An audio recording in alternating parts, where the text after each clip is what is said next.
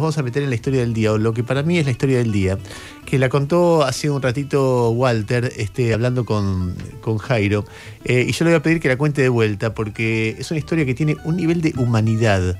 Eh, y a mí me, me, parece que es muy relevante empezar por esto, porque cuenta un país, o cuenta una parte de un país, cuenta, eh, ayer encontré, mi viejo era un dirigente en La Plata de muchas cosas, y le hicieron un reportaje unos años antes de morir que muy solemnemente, porque a veces que mi viejo era muy solemne, se lo dio a cada uno de los hijos.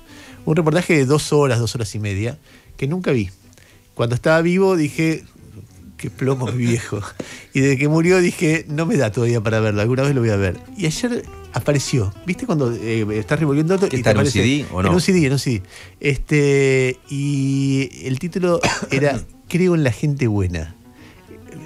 Que lo debe haber elegido él. Y realmente era un tipo que creía en la gente buena. Y la historia que vas a contar, me, encanta como síntesis de una vida de alguien que toda su vida creyó en la gente buena. Se dio cada porrazo también, como cualquiera que cree en la gente buena, pero nunca dejó de, de creer en eso. Y cuando justo se me juntó eso que me pasó ayer con lo que contaba eh, Garba hoy, y me parece que es una buena manera de empezar la agenda informativa. Dale. En las últimas horas se viraliza el video del dueño de un bar que taclea a un ladrón que había asaltado su local en las canitas. O sea, se había viralizado en todos los medios las imágenes de las cámaras de seguridad del local donde un menor ingresa, se acerca a una mujer, le ofrece productos de limpieza, la mujer se niega a comprarle y el dueño del lugar va hasta la mesa y le pide al chico que se retire del local. El joven agarra los paños de limpieza, se retira y como es un modus operandi bastante común esto de que te apoyan algo encima de la mesa y aprovechan para sacarte celular, inmediatamente el dueño del local le pregunta a la clienta si tenía su celular o si había perdido alguna pertenencia. La mujer se da cuenta en el momento que no tenía el celular y sale corriendo detrás del chico que acababa de estar en el local y le hace un tackle de rugby, lo tira al piso, lo retiene hasta que los vecinos llaman a la policía y se lo llevan. Eh, el chico es muy impresionante eso, eh, lo que se produce en ese momento, porque el pibe decía, déjame ir, lo hice por hambre y, el, y había un cero que decía, no, no, no lo dejes ir, que aprenda. No es que. Sí, que, pase la noche en la comisaría que le va a venir bien, le decía uno de los que estaba ahí. Eh, y lo que cuenta el dueño del bar es que en ese momento siente, primero que era un nene, que de hecho era un nene, tenía 15 años, y que le pedía desesperadamente por favor que lo dejaran ir, que estaba arrepentido de lo que había hecho y que lo había hecho porque no tenía para comer. Eh, y en ese momento se acerca para hablar con el chico cuando la policía se lo estaba llevando detenido y le dice al chico, mirá, tenés otras oportunidades, si necesitas algo, vení, no te vamos a negar nosotros nunca un plato de comida y te podemos hasta ofrecer laburo, yo necesito gente que labure acá. Al día siguiente, este chico vuelve al local con su papá y con su hermano que lo llevaron para que el chico le pida disculpas al dueño del bar, se abrazan y el dueño del bar le ofrece trabajo al hermano de este chico que es mayor de edad, como para que la familia tenga una fuente de laburo y además les da un plato de comida a cada uno donde se sientan a hablar y se mete en la realidad de esta familia que estaba pasando hambre y que estaba pasando un mal momento. Si querés podemos sumar eh, parte de lo que son los testimonios del dueño del bar y del chico. Esto decía Martín, el dueño del bar, sobre la situación en la cual se acerca a hablar con el chico de 15 años que había robado su local.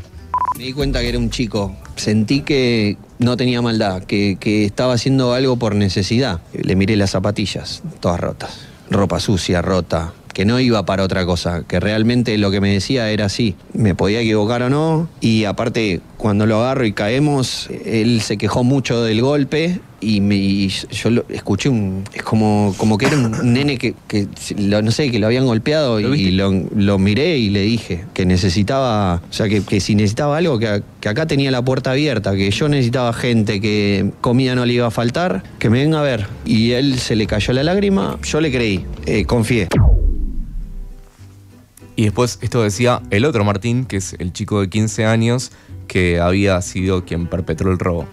Yo necesitaba plata para llevar plata conmigo a mi casa, alimentar a mi familia, que me perdone, que yo tuve mal. Y él me ofrecía trabajo. Y bueno, yo al otro día salí del instituto y vine para acá. Y le pedí perdón, lo abracé y me recibió con un, con un café, un plato de comida. Y dijo que me iba a ayudar, iba a laburo a mi hermano. Y por eso vine.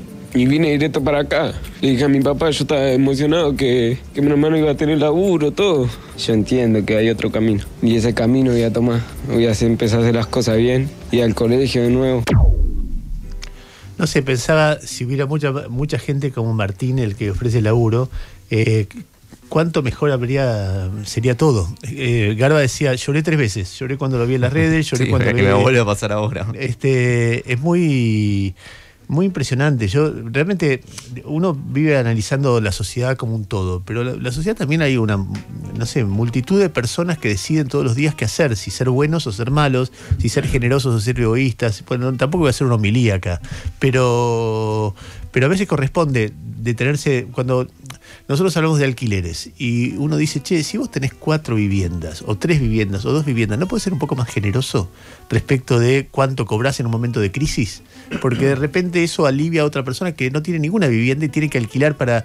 y eh, que las leyes del mercado, que yo por qué voy a vivir peor, que yo, bueno, hay mil razones para plantear de que uno puede ser más egoísta, pero el que está un poco mejor tiene que ser mejor con el que está un poco peor. Es una cosa como tan elemental, pero bueno, claro, eh, de repente se ve corporizada en algo así.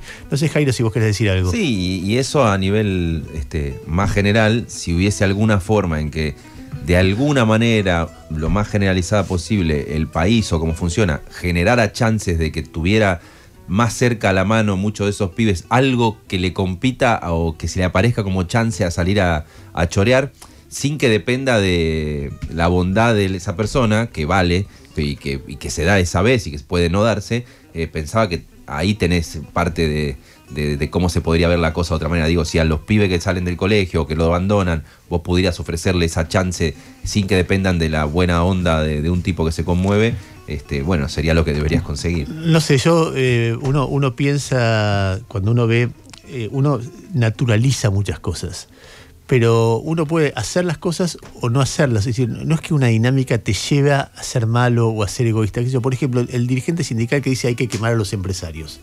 Si el tipo hubiera dicho, esta gente no entiende que estamos en un momento difícil, fíjate que se reúnen en el Yao Yao, ya eso es ofensivo. Fíjate que, eh, ¿por qué los candidatos van a rendir, eh, este, a rendir pleitesía ante los empresarios y no vienen a la CGT? ¿Por qué son tan egoístas que no pagan más impuestos? Es una argumentación.